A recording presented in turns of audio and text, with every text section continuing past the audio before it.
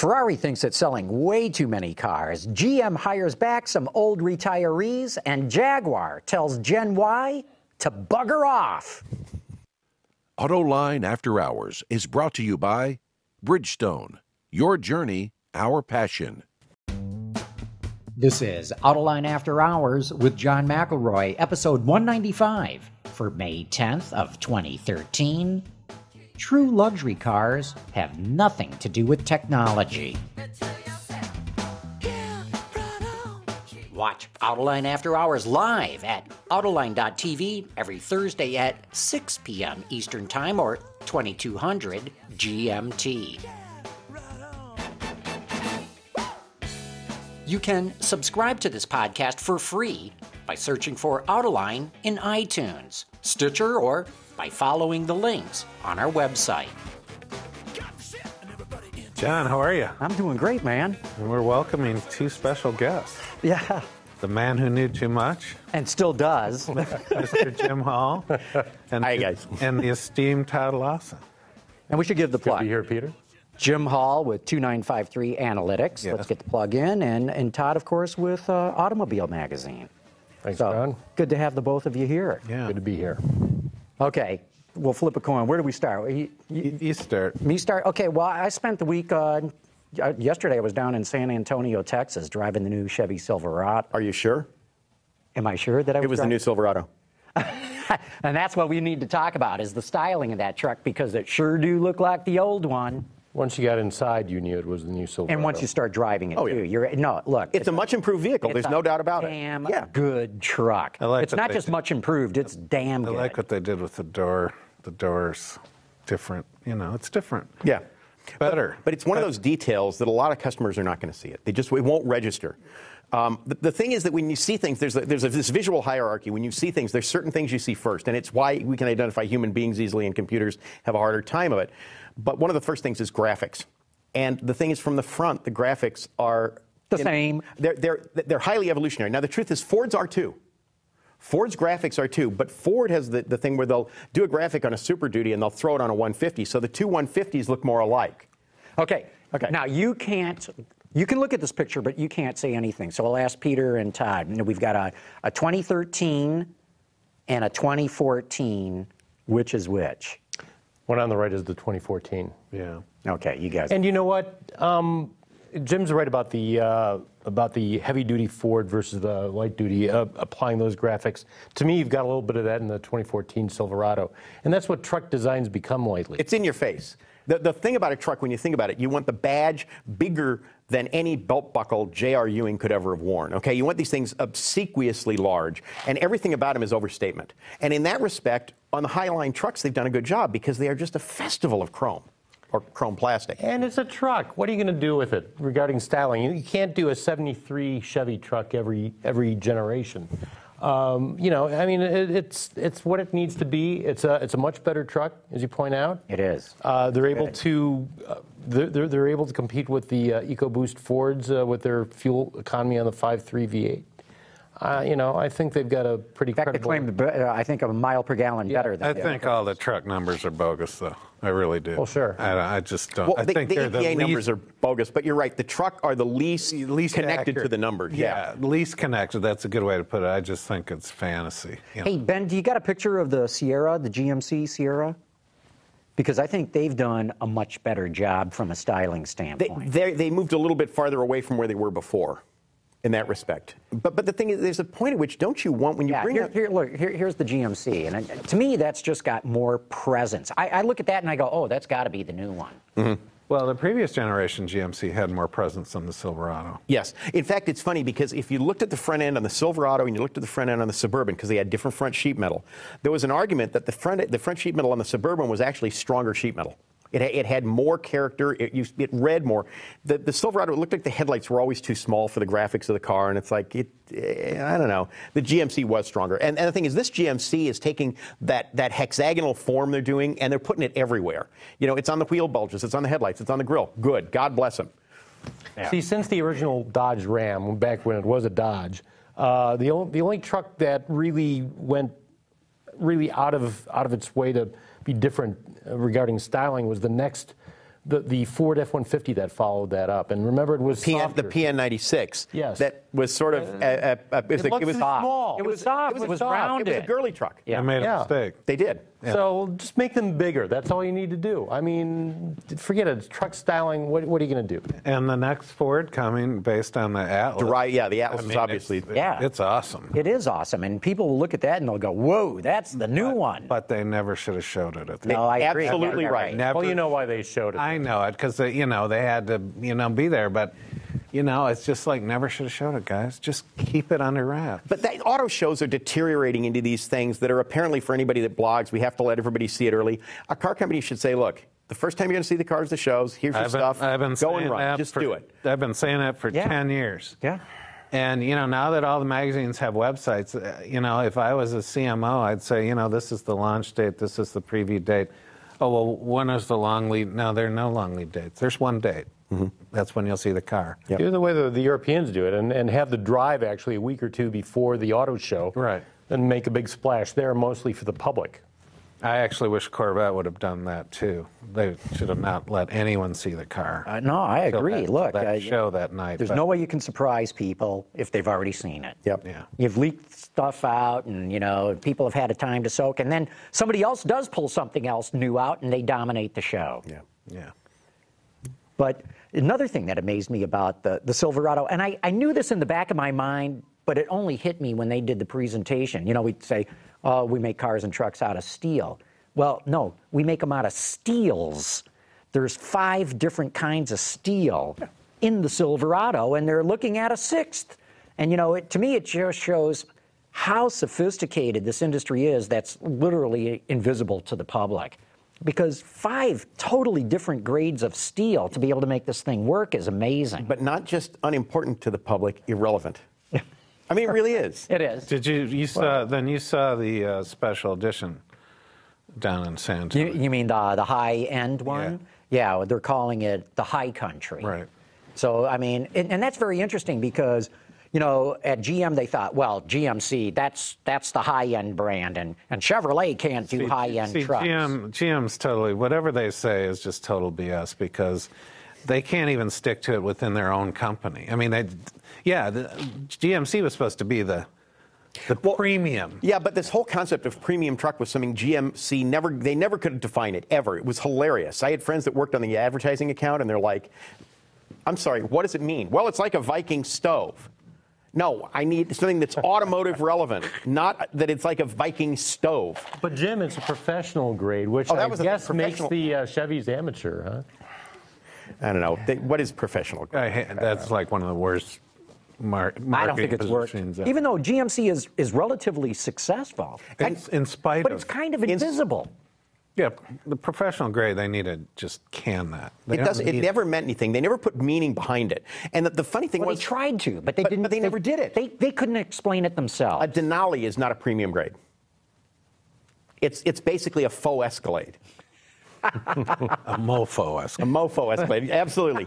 So how's this new Chevy ver- version? How's the new high-end Chevy? Is it It, look, it, it's like is uh, it Denali-esque or what? Oh no, it's it's Festival of, bay, of, of rugged brown leather. It's it's a King Ranch type vehicle. But it's Or- not as I, I like the leather in the King Ranch. I mean, that is No, I'm saying it's saddle but leather. it's going for that kind of a thing. It The is. Same as the Laramie, uh, the, the The Longhorn. uh, lo- no, it's Laramie, isn't it? Longhorn. Longhorn yeah. is the new top end Ram. Yeah, but the thing is, it's it's serious industrial strength, um, manly luxury, where the Denali's aren't necessarily. The Yeah, Denali's are. the, the Silverado leather is not a manly leather. It's this nice, soft, supple, kind of chocolate colored one. Whereas you get in the Longhorn or the King Ranch, and it's like you're sitting in a cowboy saddle. That's what the you know big fat King Ranch welts of interior steams and is big. absolutely acceptable. actually, you know what? I have to say it. It's not the King Ranch interior that's exceptional. The King Ranch seats and door trim and armrest are exceptional. The instrument panel is the same old, same old. You know, you tap on it with your fingernails and it, goes- and it makes that plasticky, rattly sound. But the stuff you're sitting on, and it has presence. You Well, I guess we'll just have to wait for the uh, Toyota, what is it called, 1793? Yeah. Something like that. I mean, 1792. I, I, I guess we don't have to worry about Toyota uh, eating into um, big three trucks. Well, anytime soon. you know, I say Never say never. Never say never. Don't count that. If I you said count, you know, anytime soon. Let's just say Toyota never. surrenders. when you It count never Toyota out, up. you're Yeah. basically going to be out of the game. You just Yeah. don't realize how, it. about, how about their profit numbers? Oh, geez, I haven't even had a chance to go through the number. What? What? Three billion plus for the quarter? Whew! Wow, that's a lot of money. But you know, Not enough for you, Jim? but you know, Toyota. I want to say 0.9 billion for GM, which actually. Look at it this way: they made some money. Yes. But anyway, Toyota took, I want to say, six generations of minivan before they got it right. Just about any other car company in the world would have said about generation We give two, up. We give up. We can't do it. Well, we don't know General how to do Motors, this. GM gave up on minivans. Ford gave up on minivans. Yep. They both were right to do it because it was going to become so commoditized. They, you know, they just and you you'd have to have a vehicle that was the best vehicle in the segment when you launched and was still going to be the best vehicle at the end of the cycle. And I think after GM's first two minivans, they realized, you know, we don't know how to do these things. We haven't got a clue. I mean, the plastic pig, the dustbuster, Right. spectacular. Yeah. I don't know. I think they got the people there who could still do one well. I, I don't think you can do a minivan well in a way that, that the modern market is going to, that you need to be competitive in the modern market. I think it's going to turn into a knife fight with Mexican growing rules. There- there's and enough it is room not going to be for- pretty. There's enough room for Chrysler, uh, Honda, and, and Toyota, and that's probably about it. Although Kia's coming back, It'll be right, with the interesting to see how those Ford vans do. Oh yeah. You mean uh, the Transit Connect? Oh, the- uh, the new, more passenger version of that. Yeah, and, and it's also larger. Yeah. Um, but It'll be a great competitor for the Mazda 5. well, the, the those C-Max numbers. was the Mazda 5 rethought, and they got Right. smart enough to say there is no market for this vehicle at the price point they have to do. You know, because think of it this way: they were looking at this thing even when they had non-hybrids in it. But you're thinking you're going to do a twenty-three thousand dollar vehicle. Okay, I can buy a Kia minivan for twenty-three grand. It's a real minivan, and there's no reward for me getting a smaller minivan in this country. There's no payoff. Yeah. In fact, I, I'm astonished we still call them minivans. Oh, they're over. The, the Chrysler minivan is longer than a Tahoe. The, the touchy-feely enclaves seem to be embracing the uh, C-Max, though. The touchy-feely green enclaves. Yeah. Well, the Enclave, there's an argument that the Lambda is a logical way that the minivans evolved. Yeah. And uh, when, when are we going to see the new Escalade at the Detroit show? Yeah. Yep, sounds right. Hey, what do you guys make of uh, this announcement? Ferrari says, "Hey, we're selling way too many cars. We got to cut back." Well, here's the deal about that. First of all, I- I think it's a little late. I think when they did Ferrari World at Udabala, yeah. Uh, at Abu Dhabi, yeah. uh, you know, they are real, and and stuff they're doing in China, they are right on the knife edge of going to the uh, to the dark side. Of making it simply a marketing brand. Yeah. So for uh, Luca to say, "Oh, we're cutting back," I think you said it earlier. It's more of a response to McLaren's dead serious. Yeah, what was the number? 375. Well, last year they sold, I want to say, somebody will check it, but 7,375 Sounds right. Ferraris were Right. sold. And you guys And were saying that- McLaren, I was in McLaren- Woking uh, last week, and uh, McLaren said it would build 375 P1s. What a So, so Ferrari's cutting its production by exactly Yeah. the number of cars McLaren plans to sell. And McLaren uh, pointed out, uh, was proud of the fact that the uh, the original F1 road car, um, how limited that was. was fewer than 100? I think it was 96 or something. Yeah, sounds right. But excluding the race cars, yeah. Yeah. because they did race cars Right. off of it. And, uh, the most sought after one. and how much that's gone up in value since the uh, since it was available in the 90s. But that's the key, gone up in value. Right. And, and I remember meeting uh, a guy named Emilio Anchisi about 25 years ago who ran Ferrari North America. And he walked me through this whole delicate knife balance of you don't want to build one too many. In fact, you don't even want to build the exact number that will no, be bought. far better to sell a thousand too few Right. at their volume because Right. then you have a buffer in there. Well, not only a buffer, and now you've desirability. got people fighting over Right, those that's- cars. that's the buffer I'm talking fighting, about. and they want those cars, and they're frustrated they can't get them. And boy, that's the way to sell luxury goods. But what does it what does it say about that segment and about uh, you know exclusive cars in general that uh, that that their their makers are now looking at investment value from the get-go. It's not, you know, in the old days it was you bought a new Ferrari, uh, value would go down. It was a used car for a few years, and then it would go up in value You, eventually. you realize that you're equating Ferraris with uh, basically collectible Star Trek plates with only a limited number of firing days. Okay, you You're know talking about the new Ferrari. the new Ferrari. Yeah. yeah. I mean, think about it. Same thing. These collectors plates, not all go up in value. Well, I but- think I I really think they have a problem. I think you know they're they're trying to you know make a big play into China and and new markets, and you know they're not that they shouldn't be that kind of a brand. No. I mean they shouldn't be courting anybody. Well, here's the other thing too is, and I think they're doing it smart. When you look at LaFerrari, is going to cost what north of a million bucks. Mm-hmm. As does the you, P1, you turn the the old sales adage on its head. Oh, we'll lose a little bit of money on each car, but we'll make it up in volume. They're going the other way. We'll cut the volume way down and make it up in pricing. I don't know. I, the, the thing, when you commoditize any luxury brand in any way, shape, or form, and you can do, are degrees of commoditization. It's not selling automatically 375,000 Cadillacs. That is one kind of commoditization. But another is selling 10,000 Ferraris. Yeah, I, I, I've I've had a problem with Ferrari marketing for ten years now. Well, and, and you have to split that off, though. I think Ferrari and, and Lamborghini and McLaren off from uh, Bentley and Rolls Royce in that, you know, the old saw that when the economy t- starts to tank, uh, rich people who still tend to be very rich may go out and buy a new luxury sedan, but they won't go out and buy something flashy like a new Ferrari.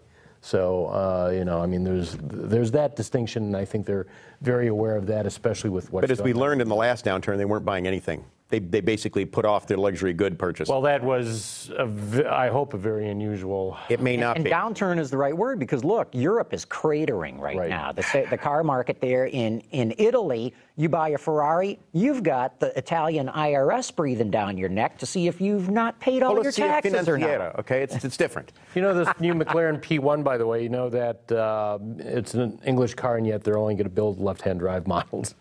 so No. that's right. Well, Britain's got Oh, see at that's least- not right. they see- that's not right, man. the, the Ministry of Transport. oh, Transport. that ain't right, man. I mean, at least half of them coming over here, obviously, and then maybe a few to Asia. Yeah. The Ministry of Transport has decided that this is the year they're going to do the conversion to the other side of the road in England. No. Yeah, and they're going to do it in a progressive fashion. It's small vehicles first. and the idea is that they're more maneuverable, so they'll be able to get around easier with a change. And then at, at the end, it'll be the heavy good ve- ve- Boy, it'd really be good to have one of those McLaren F1s now, wouldn't it? Damn right. Yeah. Ben, did you tweet that out? Because Jim just broke some news. I think that's what he broke.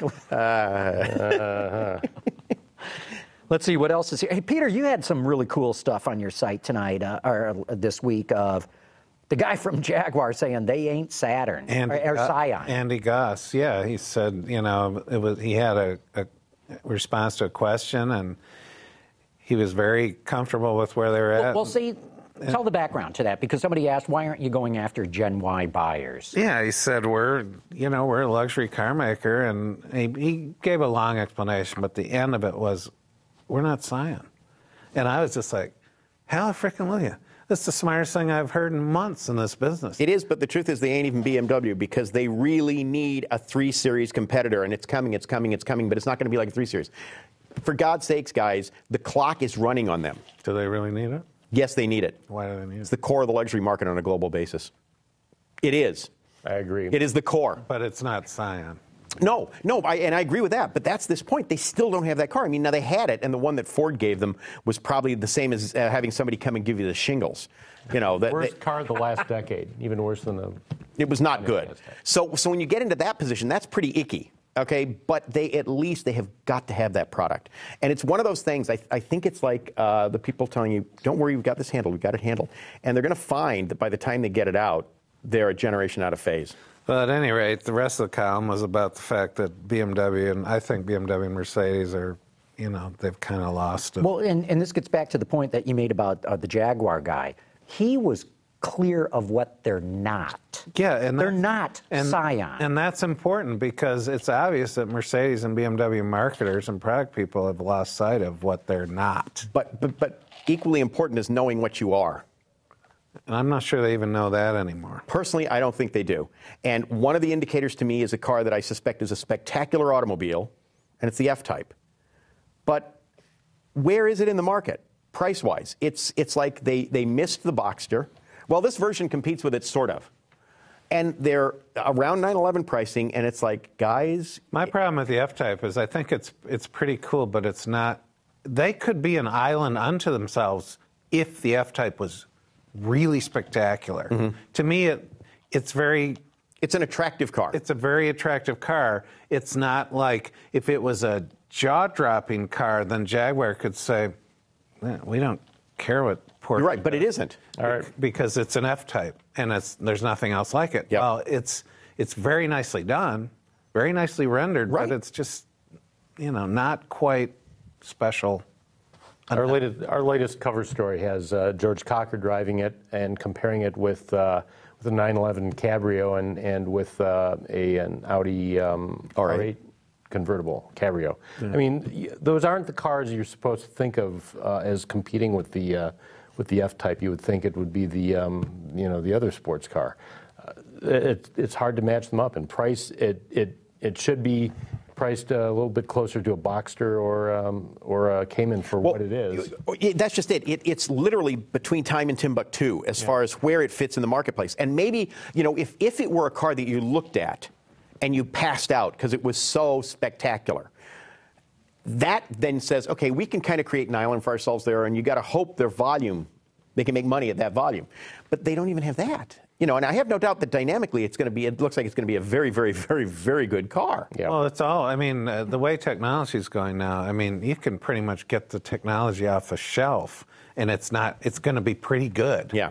So it's how it's dialed in, but they needed to push that design further, in my opinion. They just needed to, because then it wouldn't matter. You're right, exactly. It wouldn't matter. It's just, uh, yeah, we're not Scion. You know, think we, about we, this. we, we know who we aren't, but we, we know who we are, and we're the only ones who can do this car. They can't say that with the new F-Type because there are plenty of companies who could do something similar. Yeah, the right car, people with taste will come to it no matter what Right. their age. Right. you know. The- Then you know you talk about Jag another way, and I talked about the three series. There was a time when the thing that separated Jag sedans out from or saloons from any other vehicle was they looked sexy. Period. End of discussion. Absolutely. Okay, you didn't buy a Jag because it had the most headroom in the segment. You bought it because it looked like nothing else out there. Now the XJ fits that bill. To a T. It is a striking automobile. Uh, there are things that I like about it, things I don't. I know all these, But it stands It out. is striking. It cuts a swath. And the thing is, find me a car in the 3 Series segment that could do that because none of them really do. They, seriously, the ATS is a, is a good looking car. It's very nice, but it's stuff we've seen, nicely executed. The 3 Series is like a 5, is like a 7. The C Class, very nice car, but show me one of those cars that when it comes up, you go, Gotta have The it. The problem, Yeah. Jim, be, because of what you said about how big that segment is in the luxury uh, among luxury brands, everybody's going to be very most conservative about that segment. So if you wanna- so if you wanna find I'm a- not saying it's right, but that's what they're. Doing. No, going and I to do. understand that. But because that's the case, that is the strongest argument for making a strikingly beautiful car in the segment because while you won't get the majority of buyers, it'll stand out so everyone that goes by is an advert for it. Okay, so what would you guys do differently if you could have gotten in at uh, on the F car program early enough on to The X that? or the F type? the F type? Oh, I would have pushed the design much, much further. In what way? Uh, much more radical point of view, like aggressive but beautiful, sexy. To me, it's it's like designer 101. You can graduate from design school, and with the right mentor, you can draw that car, right? Yeah. Uh, But believe me, I think it's cool. It is a cool car. I Very mean, it- nice. I, I like the way it looks. It's Right. But to me, it's it's not like the Jaguar. It's just like, oh wow, man, no, that is cool. It's just like you were describing the sedans. Those sedans, made, yeah, they were junk compared to the Mercedes and BMW, but They were beautiful. and there was nothing else like them. Right. You're beautiful junk, yes. And that's what I want. The F- that's what I would I would kept the, telling designers. I want this to be nothing like anything else. This is the we're the only company that can do this car. Ian Callum doesn't want to or can't do retro, but you have to say, well, the, the E-Type is often held up as the most beautiful car No. built. No, you, you can't you, you can't I'm get not into- saying you should do retro, no, but I mean, but what do you do then? Because as soon as you say that to a amount of bunch of people, you've put a boundary. See, if you go back and look at what the E-Type looked like for its time, Yeah. it was a radical road car Yeah. with cues that we'd already seen on the D-Type racing cars, okay? But it was a radical road car. It's why the Coupe was the more striking of the two cars. Right. Then the Stingray comes out, which is equally radical and also evolved from a race car. Now, I'm not saying you do that now, but you need a car that first of all, you, the way the E-Type is, I say, look at what the E-Type was and look at an original E-Type around the cars around it and why was it so distinctive and say now what we want to do is a car that breaks out like that. The last car that was like that was a car that was not an especially good performing car. It was the Audi TT. The first generation Audi TT was a car unlike anything else. People loved it, people hated it, but it stood out, it had presence. And it was a design that allowed them to do a second generation car, whether you like it or not, that still said it's a TT. Once they got the badly needed uh, lip spoiler on. Yeah, but but they have got to find that that DNA direction for the for a, for for a Jag sports car. Well, remember the concept they had a few years ago? Yep, but it it was suffered in a way from from uh, retro no- retro scolia in that it was still trying to say I'm an e, I'm like an E-type too yeah, much. but I would have said that's a great place to start. Now, Yep. now go take me 20 years ahead. But that's what I would have done. I would have pushed them to say this needs to be something no one else can do. See, to me- Instantly recognizable. As only a Jag. You don't have to put a leaper emblem on it Yeah. for people to say it's a Jag. I want But it is that. It is that. I mean, and maybe that's part of the problem that I have with the car. Not that I have a problem with it, but if we're picking it apart, it looks too much like an E-type. What, the new one? The Yeah, F-type? The F-type. I don't think it does at all. Uh, John, I think it's time for us to get an E-type and an F-type and park them next to each other. Oh other. no! I, it, mean, it- it's just like the, the two like those pickup Silverados. trucks, yeah. It's like the two. They're they're not one panel's the same. But I look at it and I go, oh, those, those are Actually, the same. it's a little. Uh, what was that? Short-lived Maserati Cambio Corsa, whatever they did it. Didn't they do a convertible of that? yeah. There's there's overtones of that. I, I don't know. I you know it's a very competent, nicely rendered car, but it's not to me. My my directive would it, it has to be something where people say, "Did you see that new Jag?" See, it's my John, do you think the car should have been done as a mid-engine car? I mean, there were there was were a lot you know, of rumors listening to that to what effect. Jim and Peter are saying Yeah. of that they should have really gone radically different. I mean, where you pull up and people just drop to their knees. Maybe they should have done a mid-engine car. Let me, let me tell you, the, if you look at what the E-Type was for sports cars when it came out, there was another car introduced not long ago that was conceptually similar in that it, it violated a lot of things that sports cars had. It's the Audi R8. If you look at an R8, the proportioning is unlike anything else on the road. The, tall, the roof is exceedingly tall for the forms of below, but it's functional because of it. Conversely, when you see an R8, you never say that looks like a, fill in a blank. You don't. It's an R8. And remember, underneath, there's an argument, it's a Gallardo. Well, I tell you, the Audi the Audi R8. I had a black black six-speed V8 two years ago, and it's still one of the best cars I've ever driven. Yeah. But the thing is, that's the kind of presence I want the I want the F type to have. Well, I, I liked it better than the V10 one. Because I, I know you like the V10, Yeah. but I like the V8. To me, it was the mid engine Corvette that we'll never get. Mm-hmm. But but that, that whole thing about that's the kind of presence I want it to have. And it, you know, I see. I think you can do that with a front engine car just as easily. Remember, if I have two identical sports cars and one is front engine and one is mid engine, the mid engine car will always be heavier. Well, but remember, you know, the definition of mid-engine is any engine between the, the front and rear axle. Yeah, but I'm uh, the front engine or mid engine. Mid engine to me connotes that it's behind you, so I have two firewalls in the car. Okay, yeah. Um, so to me, were I doing that car, I would still do it front engine, but it's like push. The thing is, the V8 is the one that I don't get in the car. It drives the price up. I'm sure the performance is spectacular, but it's like, is that what you want for the second decade of the 21st Well, century? But there's sound too. You know, an eight's Yeah. always going to sound better than a ten. Yeah, we've. I'm talking about a six. Six, right? Yep. What are the most memorable? I mean, An eight still sounds better than a six. We've had this, necessarily. We've had this conversation before, but uh, think about the most memorable production designs: E-Type, the Stingray. Mm-hmm.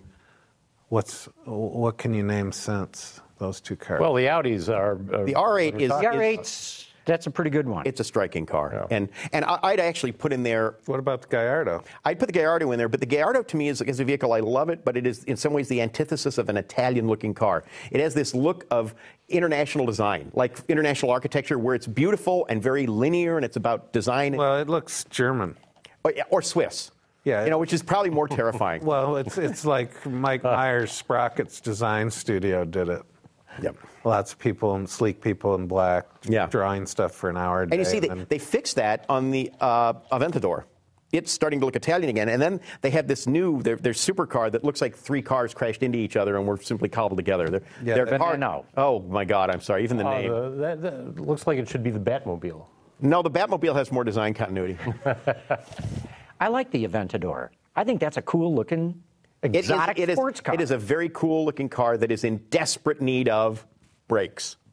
Yeah, to me, There are it- brakes on it for the performance that they to me, there. it's Wow. it, it's as striking as the original Countach was. I mean, it's it's really Mm-hmm. Yeah. pretty.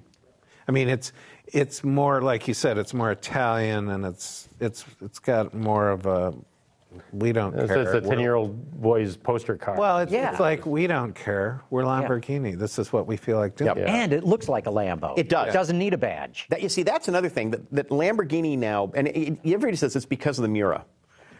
Trust me, the Miura for a mid-engine car was extremely conservatively designed. Yeah, but I- it was a beautiful. Car. no, no, I'm not saying it's not beautiful. It's extremely conservative. It has a long hood, and Right. it didn't need it. It did not exploit the enablers of the architecture. See, uh, you, you got to remember what when did that come out? 68? 66. Oh, 66? 66 really? Torino Jeez. show, yeah. Anyway, And I love when Shinoda put the back louvers on the on the Mustang in homage to the Miura. Miura. but you, you, you know, I, I think if you could put 1965 eyes on that. I can't. I saw that. That's the first time I saw I the know, car. but I, you know, it's, so I, in I sort of Jim hear what. still has 1965 eyes. Actually, they're older than that. but the Usually re- he doesn't have to wear glasses. Usually. they- they're older than that, but the replacements aren't done yet. Yeah. But I'm just saying that you know you got to look at uh, those older cars In context, the- of in context of Yeah. their day, and But, but what amazes me is when you looked at the Miura, it was not a radically proportioned car for a car that had a transverse 12 cylinder engine in it. It could have been, they never exploited the architecture, which is fine because it's why the car's so beautiful. But you look at the cars that did exploit that architecture that came out afterwards, some of which were at least designed by one of the guys that supposedly partially designed the Miura, the Lamborghini, or the, uh, excuse me, the Alfa Romeo Carabo which was pure mid-engine. You could not have built the, car, the Carabo unless it was a mid-engine car and it screamed it. Well, the Corvette four rotor, Same thing. gorgeous car. I, you know, I, I told you that story when Chevy Engineering had a Miura, Yeah. an orange one. No. Yeah. Really? And uh, as I recall, it was back in the Corvette, in early days of the Corvette racing team. But Jerry Thompson, who was a Chevy engineer, brought it home for a weekend. Well, the original Michelins were chewed up on it. So I go out and it's got Chevy engineering put Firestone wide ovals or something on it, and they had real thin white walls. walls. And I, you know, just off the top of my head, and then I heard Jerry say to my brothers, just, you know, these tires are junk. This car will go 40 miles an hour faster than these tires will. Hand. It was just weird. Yeah. But I did get a ride in it, and it was awesome. Oh, Miuras are fabulous cars. They really are. But my God. Um, see, and, and that's the thing. That's the thing. Well, that was the car that said Lambo is not Ferrari. The first Lamborghinis, the, the 350 GT and the 400, Which I love. they're nice cars and they're, they're beautiful, but you know they're, they're Superleggera touring design cars. They're very pretty, but there's nothing about them that screamed, "I am not like a Ferrari." They had all uh, the, the Yeah. sort of visual mm-hmm. cues and the mm-hmm. proportions were like Ferraris. The the Miura changed that. Yeah. And then they did the Marzal, and they started doing these cars that were unlike the cars Ferrari did, and that's part of their DNA, and it's why I think it's visually such a strong brand now, and they can do an international car.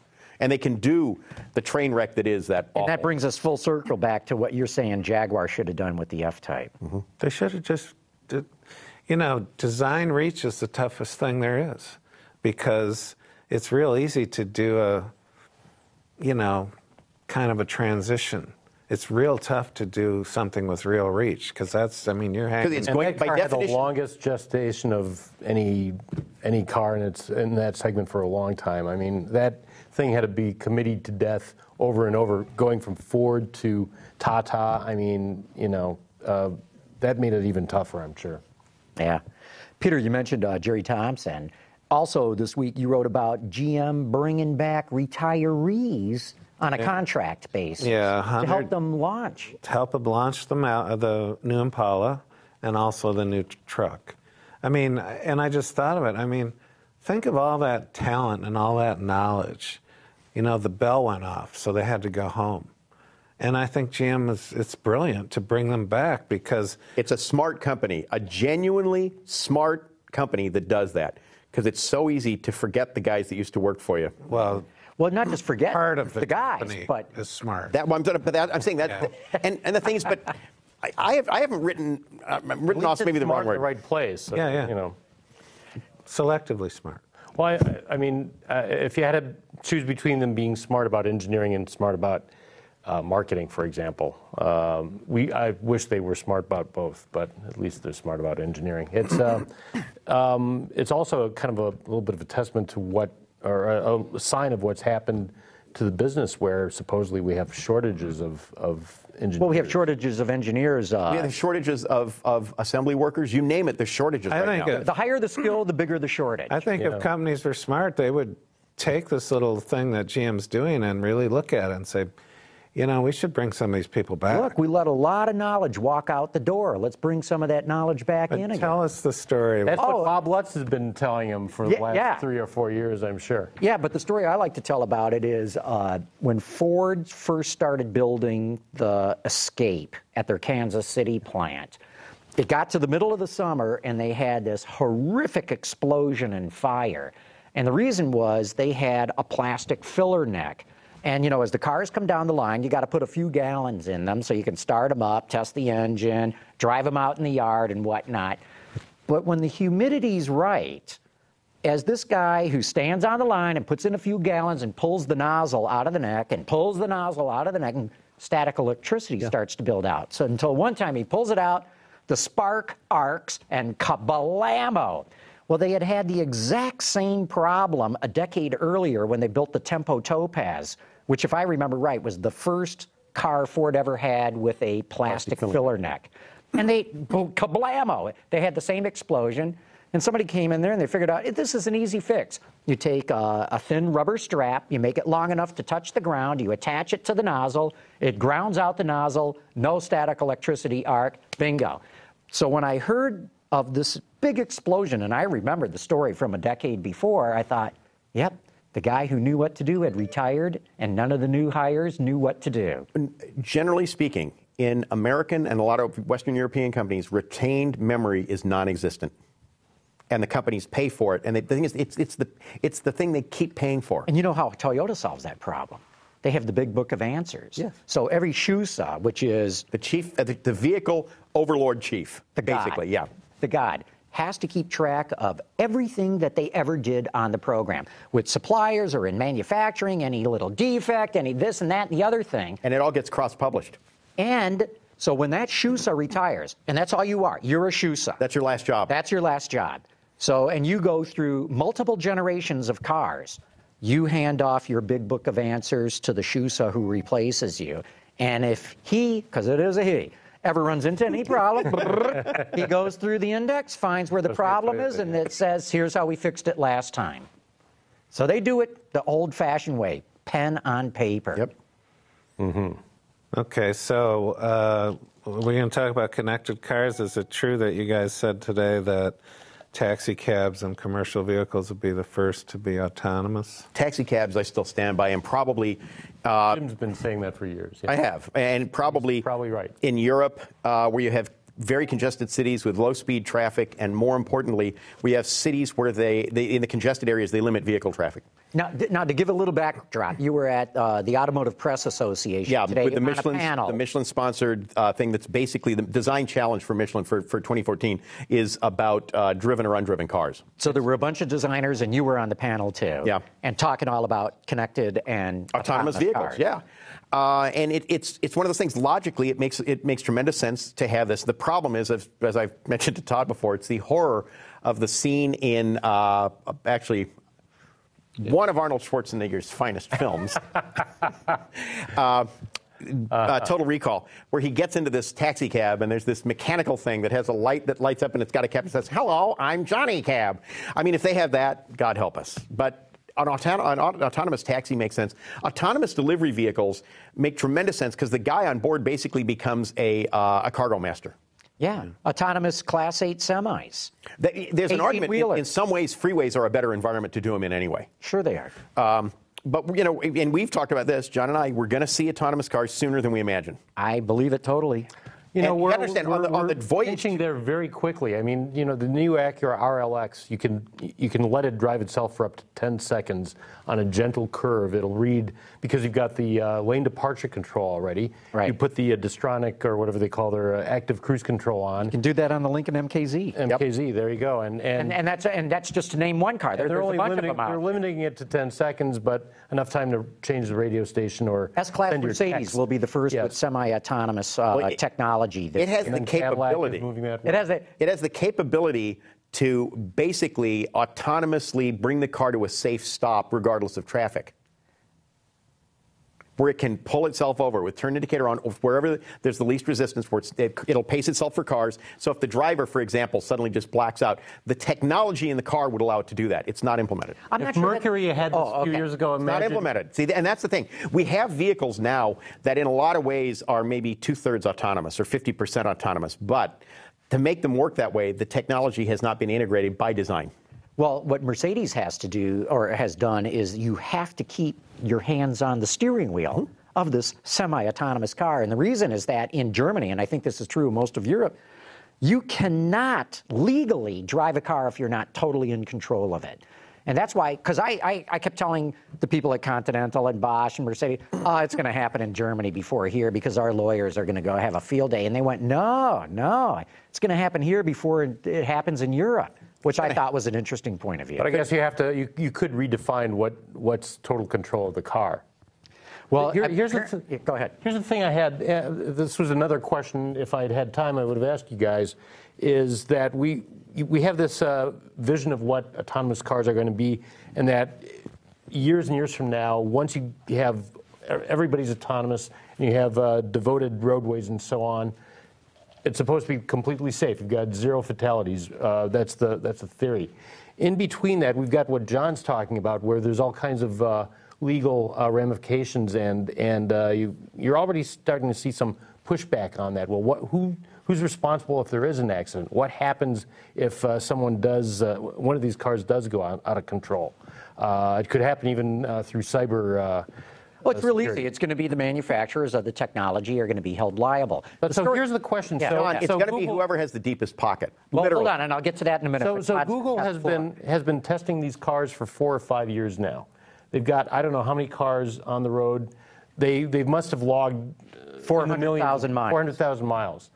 Are they just doing this for validation? Or, or I mean, No, it's the, the development. technology is all there. It is, but the technology develops, the software develops, uh, understanding. Ex- see, a lot of this, the, the thing with the, the autonomous car that as Google started, when it started, it was an experiment. I mean, literally an experiment. They didn't know the limitations of what yeah. it could and couldn't do. Well, they had a little bit did, of because DARPA Remember, they hired Sebastian Thrun, who had run Stanford's effort in the DARPA challenge. Right. And so, But that thing so is- they, they took all this DARPA knowledge. Right, but they still don't know in a real world environment because the, the DARPA, the last DARPA challenge, the one where they did the, it was its own way kind of a disaster. Okay, as far as the, the, the some of the assumptions were screwy on it. Well, maybe, but they proved the technology. And but what Google's finding now, to the the, the specific tech uh, challenges they have with the technology is, what do you do if when there's six inches of snow on the ground?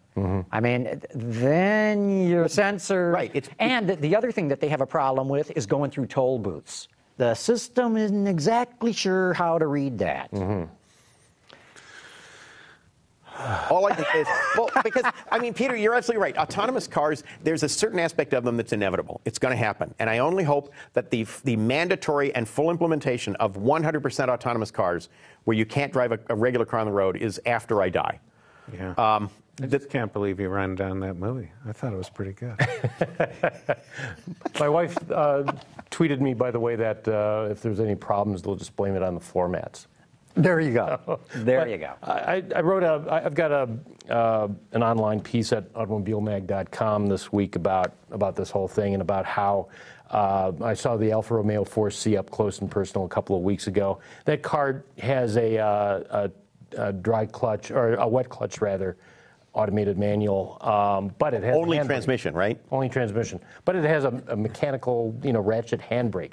And then uh, about a week later, I was driving a Porsche Boxster that had the, the standard six-speed manual gearbox, but uh, An electronic you know, handbrake. electronic handbrake. How I kind of wanted the two, and of course, Jim's looking at looking at me thinking, "Oh, this is just you. You just don't like anything new." But I mean, th- th- these are th- they provide the kind of mechanical feel that you talk about that young buyers don't know about because they learn driving through PlayStation, or all they know about cars is hitting a button, which is what you're doing with a with a DSG uh, if you're shifting it manually. I mean, it's it's the same kind of tactile feedback. Except in, in the car you mentioned, the, the Porsche with manual transmission, you're really not shifting. There's a bunch of mechanical linkages in there that aren't allowing you to feel the gears go in the way you used to. No, but there's a there's a well. I'm sorry, Todd. There's rubber to isolate it. I, I, Yeah, whenever there's anybody, still, there's still a feel to it that you don't get out of a out of a PDK. that's true, but I can drive faster with a PDK. Well, I Get know. more G's, True. more blood runs out of my eyes and nose. Speaking of which, John, how about telling us about the M5 you had? Yeah, I had the M5 uh, this past week, and uh, I didn't like the car, and that shocked me that I didn't like it. And, and there's two things about it. Number one is when you start it up in the morning, and I don't mean cold mornings, it sounds like an old man waking up. You've never heard so much whining and wheezing and groaning in your mind. I mean, unacceptably so in my book. You know, here's a hundred and five thousand dollar car or something like that. That's that's really cool.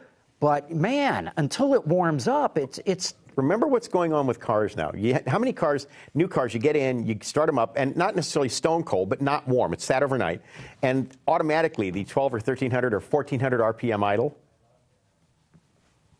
Why? you know, that's in the cold weather. It's it's it's engine cold because they're doing it to preheat the catalyst. Yeah. Yeah, but And this- remember, where's this, the this where's isn't even. I'm telling you, this is powertrain groans and whines and where's the turbocharger and wastegate on that car? where is it? Between the V. Yeah. It's a reverse flow engine. So the back side of the turbo is going straight out towards the firewall. Splitting for the exhaust. Yeah, I don't know. Th- This I'm is, serious, it's- I think this that's- is the noisiest I- car. I think it's powertrain Here- architecture. here's the well, other thing plus too. it's the gearbox. Eh, yeah, a- and the gearbox is uh, Now, did, you didn't have a manual, did you? no, it's one of those manumatic things. Because the, the You have to manual, shift it into neutral, which becomes park. Right. There's no park. Yeah. isn't there a button on the thing?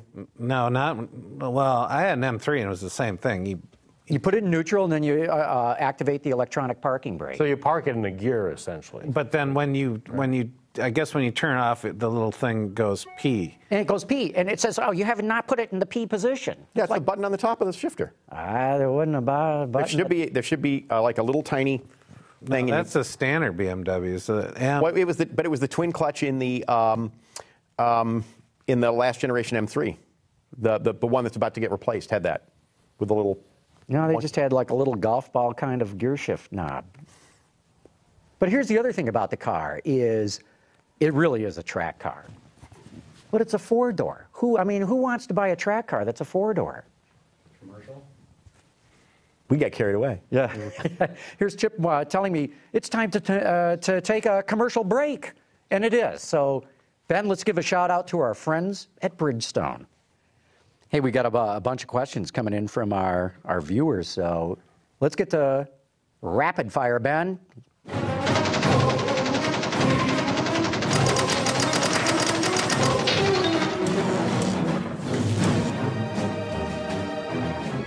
Okay, our first question is from AM2. He says, What do you think of Bertone's interpretation of a compact Jaguar? Bertoni Jaguar B99 concept. I'm, I'm not familiar with this. No. I neither am think that was the uh, like dark maroon sedan they did a couple of years ago. It, uh, arguably, it, I think it's better than the XF. yeah. I, I, I do not like that. Um, See, and the, the XF is the classic example of an anodyne car. It offends nobody, but it's like, tell me why it's a Jag. And I remember somebody said, well, it's got the leaper on the back. Sorry. uh, but the B99 was it was it was it looked more like a Jaguar than the mid-market Jaguar sedan. If sized like a three series, it'd be pretty nice. But I would want something more. yeah. Okay, uh, Scott in Cleveland says, Will the GM vans be replaced with the Opel Movano European styled van? I doubt it. That's see, that's a joint venture vehicle with Renault. So it opens up all kinds of weird questions. And Yeah, like, what about your agreement with PSA? yeah.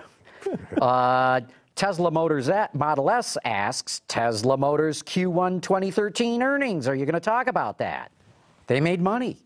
They made pretty good money. Partially by selling their uh, credits to other car companies. I, I want to say 12% of their revenue Yeah. came from selling credits to other car companies. So yeah, the other thing too is, and But I- if you're, if you're doing build, if you're building just electric vehicles, that's part of the business model. You, Hey, you can't that- poo-poo it. that's no, And- I and agree. if GM That's suddenly legit. did 80% electrics, they'd be doing the same thing. Yeah, yeah, yeah. No, you're, you're absolutely right. The only thing uh, is, uh, I haven't had a chance to really dive into their reported earnings. I only saw some of the other reports on it. They reported an operating loss. So they did not make money on operations. It was probably things like these probably EV the- credits that uh, yeah. that made them their profit. So uh, But, but I'm just I've a- saying, I've for got a- them, that's part of the business case. I know, but you know, it's not sustainable. If your operations are not making money, it's going to catch up with you eventually. the company, that's part of their operation, is being able to have these credits to sell. That's part of the revenue stream. I'm serious. I think traditionally you're right, John. You're absolutely correct. But we're not talking about a traditional car maker because they, the cost savings alone of not having to certify the car. And other companies have to do this. I'm serious. You're, gonna- you're going to see this could be a revenue stream for any company that has a high uh, number of electrics that, that uh, qualify for the credits. So I mean, why not? I mean, it's, you know, it. What's next? Yeah. What's next? Yeah, what's next? Uh, let's see. We got a phone call, Ben. Let's bring that in. Kind of, yeah. Hello, guys. This is uh, Chad W. from 17 miles south of the Indianapolis Motor Speedway. Uh, I'll just say that I have a job that allows me to drive many makes and models of uh, new cars. And I was just wondering, uh, under wide open throttle, the Dodge Dart and the Chevy Malibu don't seem as though they are thrashing or straining like some other four-cylinder cars. Um, do you guys know of any special tricks that they're doing with these, or is this just natural evolution of the refinement? Um, thanks. Love the show. I watch them all. That's great. Um, I, I would say, as far as the Dart goes, uh, it depends which engine you're talking about and transmission. My guess is it sounds like he's talking like, about one of the target Tiger Sharks, the normally aspirated engines. Probably, you know, I, I find that car underpowered, and maybe that's one of the reasons why it's quiet. It's just not revving up enough. We, we have a we have a long-term Dodge Dart with the uh, with 1.4? dry uh, dry clutch, and uh, boy, uh, I drove that to the New York Auto Show, and in the city in New York, I had to use the manumatic controls just to be able to get out of its own way.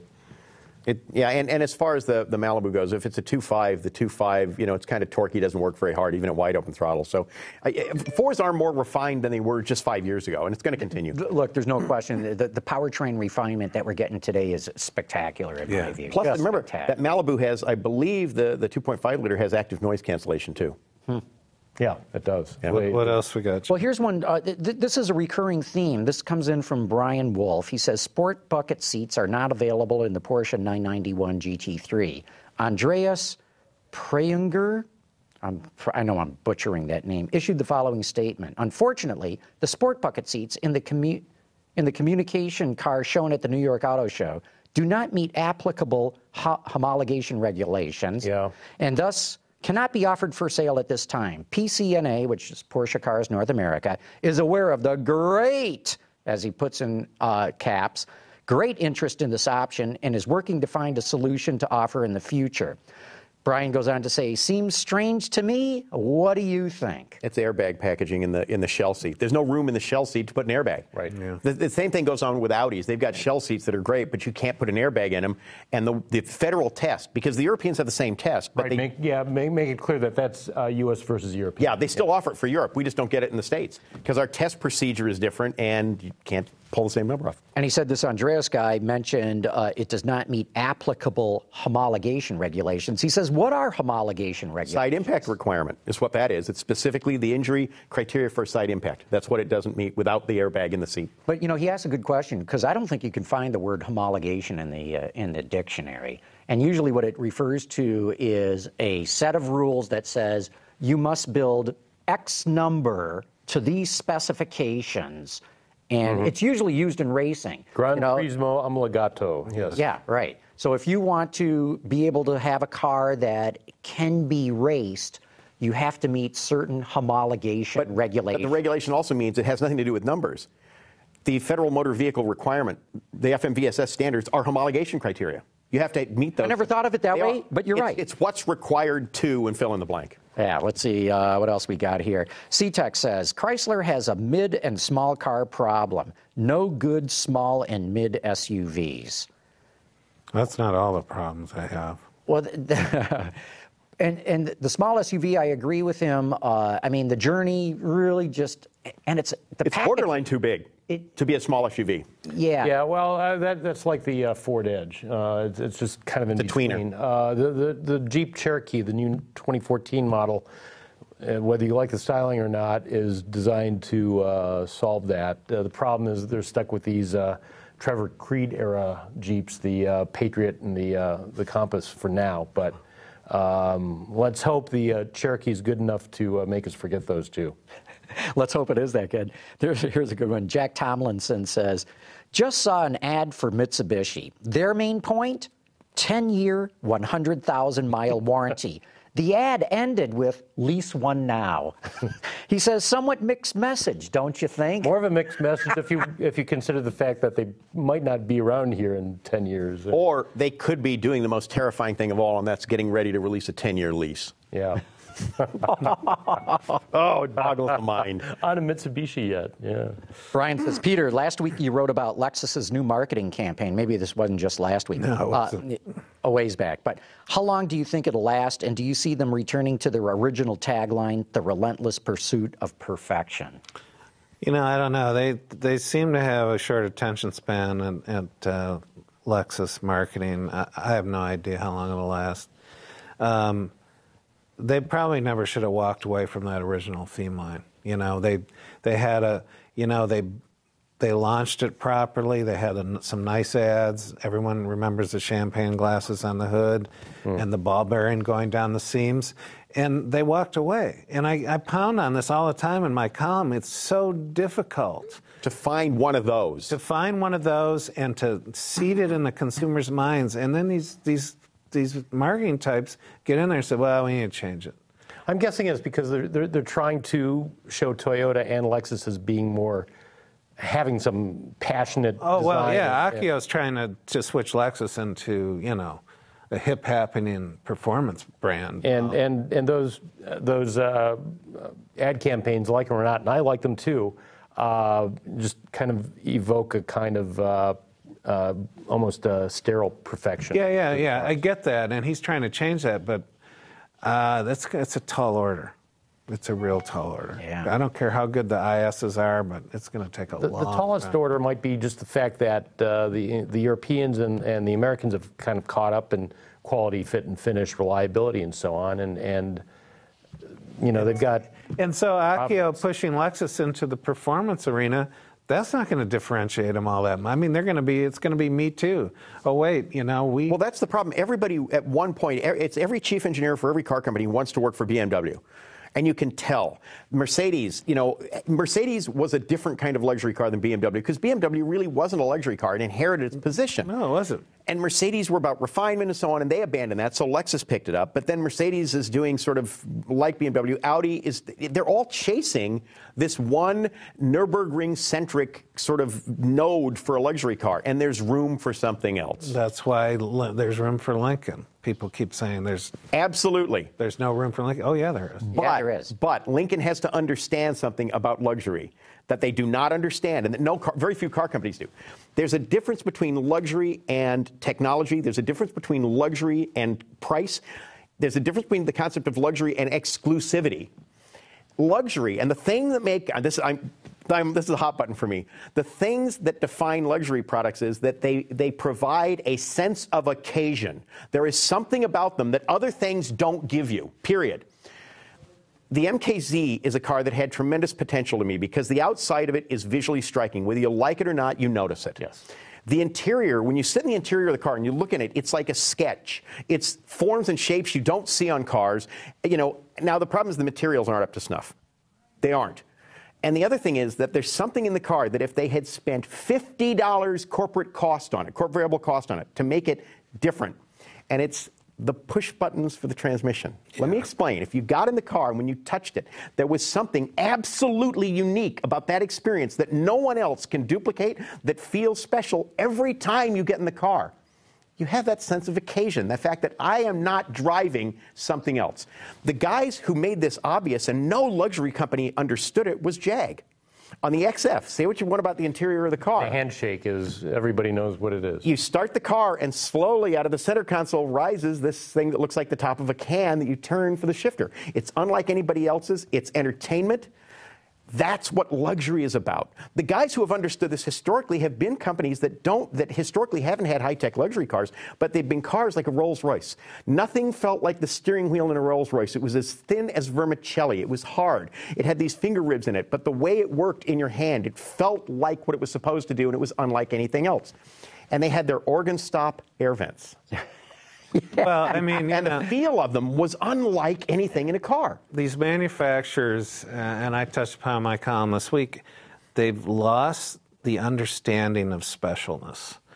They, in, in chasing every last niche, they've just lost their way. There's I mean, you, you, you touched upon it. Where did BMWs come from? 2002. It Mm-hmm. That's wasn't- luxury. It wasn't a luxury car. It was the very de- quintessential definition of what a sports sedan was. We didn't know what a sports sedan was. It didn't exist.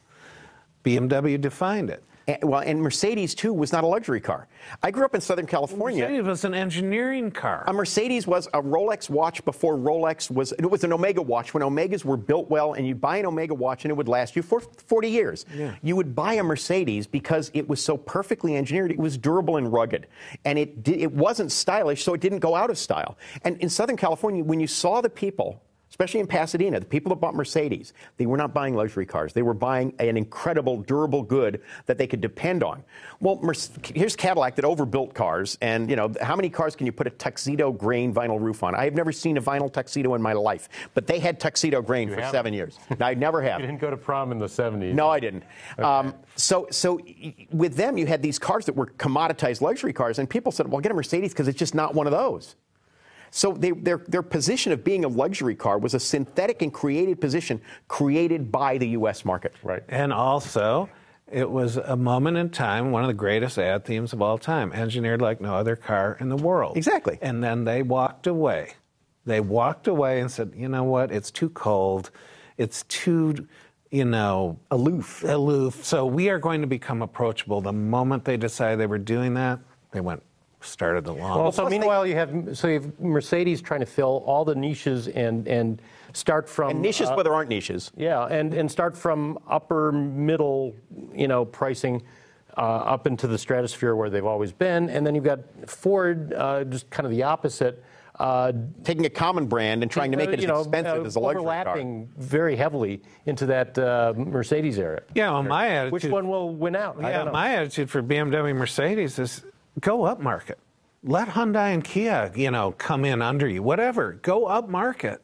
But you see, the Hyundai and Kia are a good example. Those are cars, especially. I mean, you may not like the way the Equus looks, but the Equus is a car that has a lot of the things you say, oh, that's like a luxury car. But it doesn't have the sense of occasion. No. It doesn't have the entertainment. And this is something, I mean, think about it. BMW owns Rolls. They should know this. And I cannot find a more clinical car that I get into when I get into a car that is the antithesis of the things that to me connote luxury than a 3 or 5 Series BMW. The screen always sort of sticking up there. At least on Audis, you start it up on an, on an A7, an A6, or an A8, and the screen does this little pirouette and appears for you. These are little tiny things. Well, I'm amazed that BMW hasn't screwed up rolls. You know, I, I'm kind of shocked. Yeah, I don't get to drive them often uh, enough to tell you. Well, I was. I- I out- mean, I don't drive I was at out all. in my Ghost the other night. yeah, yeah. Well, I think we learned something tonight, and I really like what you're saying there, Jim, of this sense of occasion. You know, I'm going to write about it, and I, I, it's, it's been something in my craw because it's You're- the you're- opportunity Lincoln has. right, right, Well, right. it's the dim- diminishing of specialness in everything. Yeah. The, the instant 24 7 era we live in. Nothing special anymore. We were Right. talking about quality writing. Uh, quality writing, no, we just need to be first on Twitter with, oh, the new, the, the new Silverado is this in 140 characters or less. Think about what you could do to make this special. Now, there are companies like Vertu that do phones that are psychotic, and then there's the, the Tag Heuer phones, and all they're doing is putting a case on it. yeah. Uh, you know, and it's it's that whole thing. You can do this. It's doable. They could do this at Lincoln. Right. And the thing is, they don't understand the importance of it. They don't understand the context of it. If you think about it, what was a more special occasion car than a car that they probably hear too much about? But it's a '61 Lincoln. Yeah, well, they're spending uh, all their efforts on consumer. Consumers can't tell you what Jim's talking about. And the other thing that I, I really like about what you're talking about there is it doesn't have to be high tech. No. At all. No. It has to be unique, special, and it has to make me feel good about my purchase. And, you know, And, and that's why the things like the the the, the doors, the the organ stop vents. It's low tech in the way they do it, but it's, it's machined so well. It feels so good in your hand. You're like, mm, yeah. No other car has it. And it's Well, round, and- not anymore. They and- used to. and it ties up the show and gets back to the F type. it does. I mean, That's missing from the F type. it's missing from the F type. They didn't sit there in with all that Jag memorabilia I'm sure they have in their design thing and just say, well, wait a minute, this is anybody could do this car. Remember, the problem with history is that when you see it, when you see history with our eyes, with the eyes of the present, it becomes a prison. It actually does. It constrains the way you think about stuff rather than getting back and saying, what was this? Well, the new the new Corvette, the Roadster, I think is really good. The coupe, I just that roof, they just blew it. No, it looks very much like a, uh, an R35 uh, GTR roof. Well, that's my problem. I mean, I can't believe they. Oh boy, am I going to hear from that? Yeah. A certain person is watching this. I'm Well, gonna, I know, but they, I can't believe they consciously said, "Gee, that Nissan GTR, that's some, that's something, something.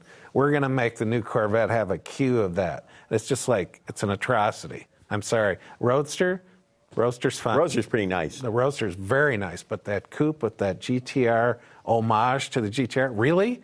I mean, come on, it's a Corvette. Okay. That's right. Hey, good show, guys. This is has been. I've learned a few things. I'm glad I'm sitting here. We've learned what the B99 is. Yeah, that- there you go. I had to look it up.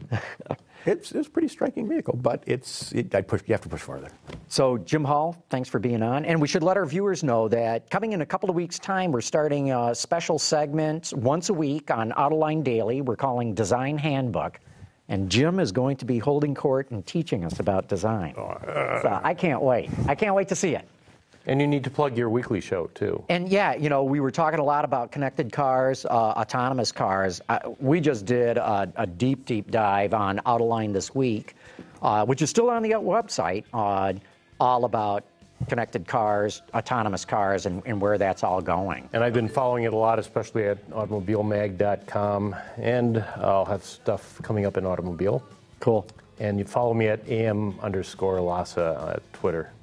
Cool. Great having you here, Todd. Thank, thanks. Peter, good show, man. this is excellent. Yeah, good show. So I want to thank everybody for having tuned in, and please join us again here next week. Autoline After Hours is brought to you by Bridgestone. Your journey, our passion.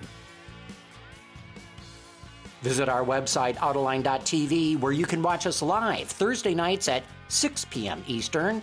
Get your daily news fix with Autoline Daily and in depth analysis and interviews with Autoline This Week. There's all that and much more at Autoline.tv.